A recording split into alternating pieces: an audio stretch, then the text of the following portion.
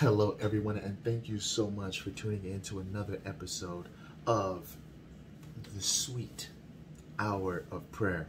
Listen, I believe that we are on the verge of sustaining revival, sustainable revival, a revival that will actually continue on after you and I are gone. And I'm talking about a whole reformation of the government, of business, of media, entertainment, education, uh, even of our churches. It's something magnificent that God is doing in the earth. And really, it all stems from the throne, doesn't it? In Ezekiel chapter 47, there's a, a river that, that makes glad uh, the children of God, right?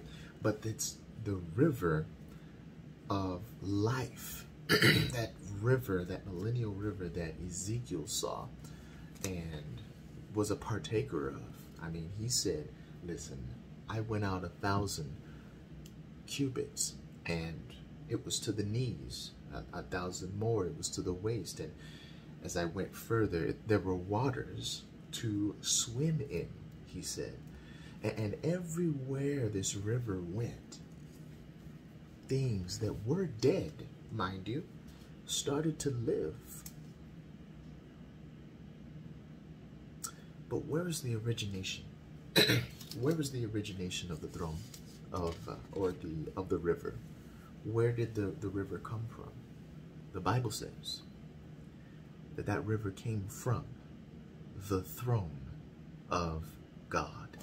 That's how that river of water, of life water, was able to make those things that were dead, the fish that were dead, like this, was able to quicken them, was able to make them alive, was able to just bring life wherever that river went. And we do realize that um, Jesus Christ to the Samaritan woman was talking about this same river.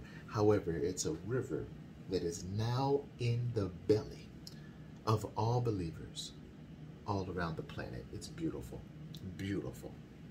So I said that to say this, that life stems from the throne.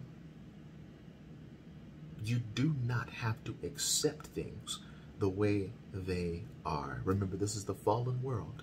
But remember, we have a risen Lord, and we are risen with him. So, James chapter 4 and verse 7, let's go ahead and enter into a time of prayer. Dear Heavenly Father, thank you so much for your word, Lord, that in itself, Lord, we can just take one verse and spend an eternity on it, Lord, but we just want to squeeze out whatever you want us to squeeze out in this verse of scripture to equip your saints, Lord. Equip them to submit themselves to you and to resist the devil in all forms. We thank you for your goodness, your grace, and for your mercy and for the rivers that flow out of our belly because of you. In Jesus' name. Amen. And so we are again in James chapter 4 and verse 7 simply because we would like we would like to bring ourselves and this may be the conclusion of James chapter 4 and verse 7 folks we really want you to realize what the Lord is talking about here because he's talking to you personally all right. James chapter 4 and verse 7, it, it says this, okay? Submit yourselves, therefore, to God. Don't just submit to anything, but submit yourselves to the Lord. Don't submit yourselves to an ordinance of man, but submit yourselves to the Lord. Don't submit yourselves to, huh? It says, Submit yourselves, therefore, to God. Resist the devil. Do you know what resist means? Right? Resist means to push against.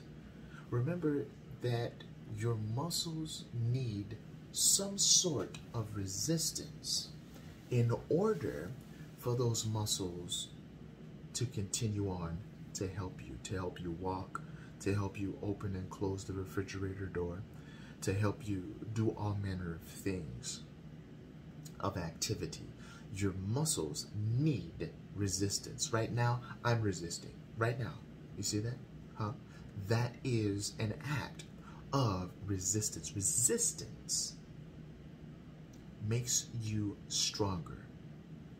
Have you ever made a goal to lift a certain weight?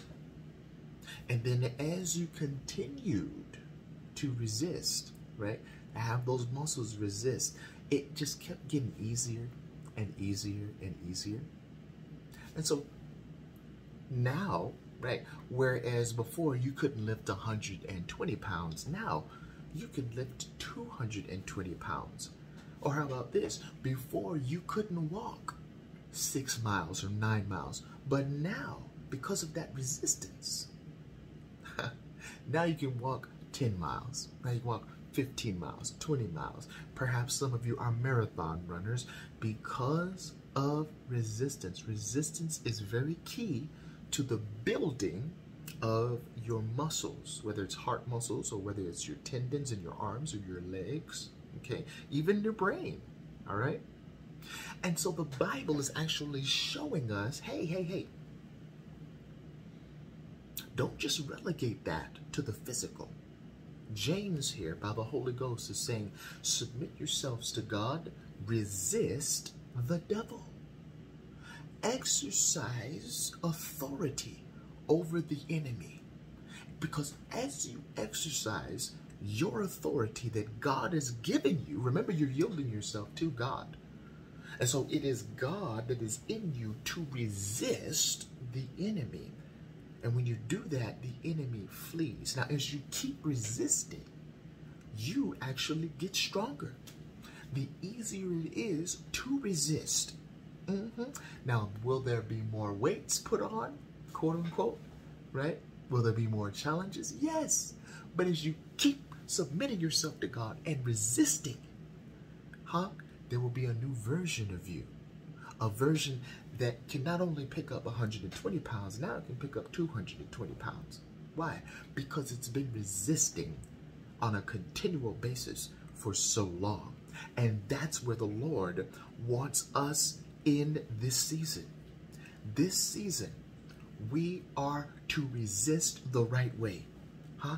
Not by carnal means, no, no, no, no, no. Not using carnal weapons, all right? Not standing up with signs and saying, you need to stop your power grab, blah, blah, blah. No, no, no, no. but by lawful means, but by praying and writing yourself, communicating. Remember Paul said, let's communicate. Let's not forget to communicate. Letting them know, hey, writing your senators and letting them know. How about informing the electorate? You want things to change in your government? Saints, that's what you're there for. You're there to resist the tyranny and to teach people how to resist the tyranny as well. Hmm? Not only on the outside, outside tyranny, but also on the inside. Why? So that freedom can be holistic. We have 1189 chapters in the Word of God because God wants us to experience holistic freedom. We have 1189 chapters because God wants us to experience holistic healing, holistic victory. What does holistic mean? All around, spiritually free spiritually healed, mentally free, mentally healed, physically free, physically healed, socially free, socially healed. All right?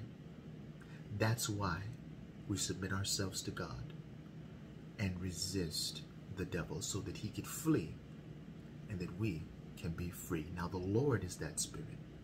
And wherever the spirit of the Lord is, there's what? There's liberty. God bless you. God loves you. God smiles when he sees you.